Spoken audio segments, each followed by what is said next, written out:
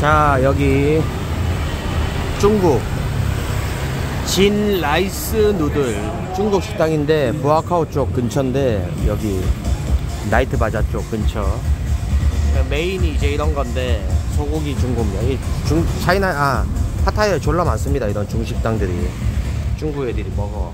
근데 이 집이 지나가다 그냥 들어왔는데 느낌이 졸라 괜찮아 맛있어 보여.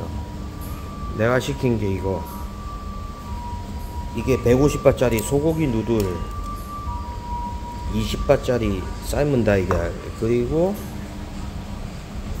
중국 도나스 내가 저거 시켰거든. 중국 도나스 막 여기서 막 튀기고 있더라고. 이게 중국 도나스인데 맛있어 보여서 시켰습니다. 30바트밖에 안 해줘 중국 도나스 근데 이 집이 평점이 4.8이야. 리뷰가 한 70개인데 그럼 존나 맛집이란 거거든? 안 봐도 비디오야 이 봐봐. 딱 봐도 그냥 맛있어 보여 먹기 전부터. 어? 이게 150바트밖에 안해.